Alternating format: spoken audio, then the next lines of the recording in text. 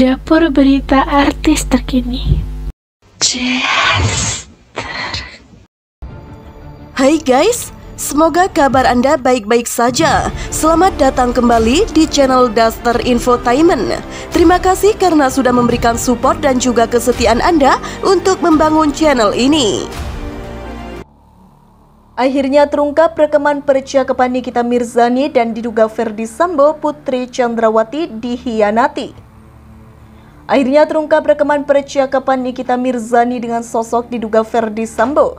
Lantas benarkah Putri Chandrawati dihianati Ferdi Sambo selama ini? Kasus Brigadir J hingga kini belum usai, kini Nikita Mirzani mengaku memiliki percakapan khusus dengan Ferdi Sambo.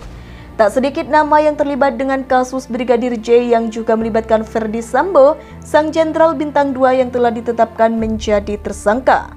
Tak sendiri Ferdi Sambo ditetapkan sebagai tersangka bersama dengan sang istri Putri Chandrawati. Selain nama perwira polisi ada juga nama selebriti tanah air yang namanya ikut terseret dalam kasus Brigadir J. Salah satunya adalah selebriti Nikita Mirzani. Di awal kasus Brigadir J mencuat, nama Nikita Mirzani juga disorot karena disebut-sebut salah satu selebriti yang diduga mendapat backingan dari Ferdi Sambo.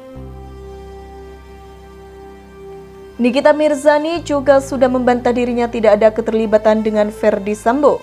Namun kini muncul rekaman percakapan Nikita Mirzani dengan sosok diduga Ferdi Sambo.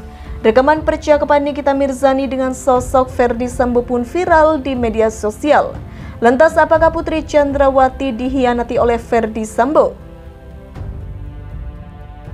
Belum lama ini beredar kabar jika artis Nikita Mirzani dituding dibackingi oleh Ferdi Sambo.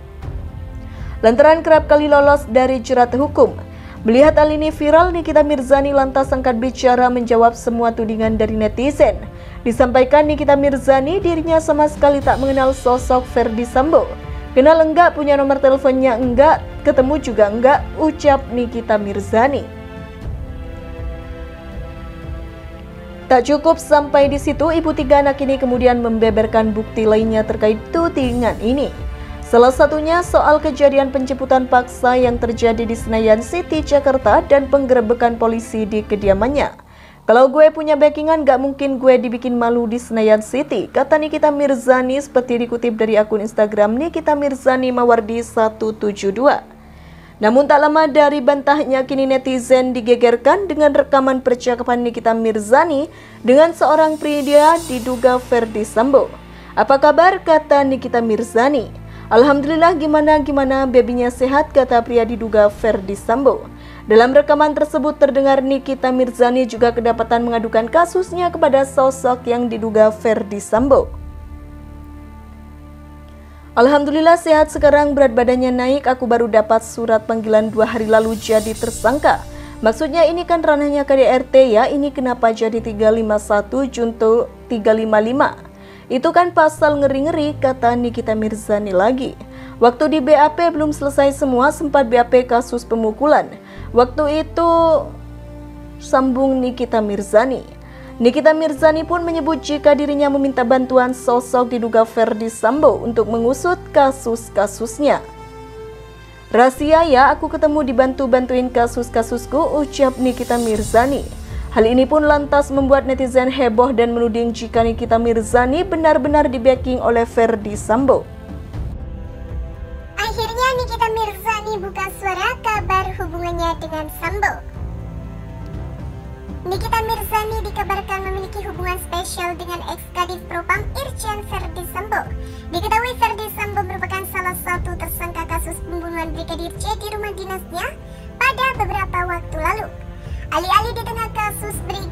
Yosua, nama Nikita Mirzani mencuat dihubung-hubungkan dengan Verdi Sambo. Benarkah Nikita Mirzani punya hubungan spesial dengan FS? Awalnya keterkaitan keduanya sejak Nikita Mirzani melapor polisi ke divisi Propam Mabes Polri. Namun di tengah beredarnya isu tersebut, Nikmir akhirnya buka suara. Jadi gini loh gara-gara aku kan melaporkan polisi Serang Banten. Kalau melaporkan polisi kan harus ke Propam, nggak bisa ke tempat lain, Nikita Mirzani. Nikita menjelaskan laporannya kepada Divisi Propam Mabes Polri berkenaan dengan kedatangan polisi ke rumah pribadinya pada dini hari. Ia merasa hal itu sudah melanggar kode etik. Ada pelanggaran kode etik yang dilakukan terhadap aku yang dia datang ke rumah jam 3. Banyak deh ujarnya. Ketika dirinya melaporkan hal tersebut, Irjen Verdi Sambo sedang menjabat sebagai Kadif Propam Polri. Tidak lama berselang, Verdi Sambo terjerat kasus hukum. Pas diterima laporannya, pasti Bapak Verdi Sambo ini kena kasus, jadi dihubung-hubungin, ungkap Nikita. Menurut Nikita, pernyataan bahwa ia mempunyai hubungan dengan Sambo, selama ini dugaan yang beredar di muka publik adalah isu liar. Jadi disangkut pautin seolah-olah aku kenal sama si Verdi Sambo, padahal enggak sama sekali, ucapnya. Karena itu saat isu liar tersebut semakin berkembang membuatnya geram, alasannya ia tidak mengenal dengan Irjen Verdi Sambo. Makanya aku sebel karena aku nggak pernah kenal tapi disangkut-sangkutin, tandasnya. Rekaman percakapan Nikita Mirzani dan sosok diduga Ferdi Sambo viral, Nyai terbukti dapat backingan. Belum lama ini beredar kabar jika artis Nikita Mirzani dituding dibackingi oleh Ferdi Sambo lantaran kerap kali lolos dari jerat hukum. Melihat hal ini viral, Nikita Mirzani lantas angkat bicara menjawab semua tudingan dari netizen. Disampaikan Nikita Mirzani dirinya sama sekali tak mengenal sosok Ferdi Sambo. Kenal enggak, punya nomor teleponnya enggak, ketemu juga enggak, ucap Nikita Mirzani. Tak cukup sampai di situ, ibu tiga anak ini kemudian membeberkan bukti lainnya terkait tudingan ini.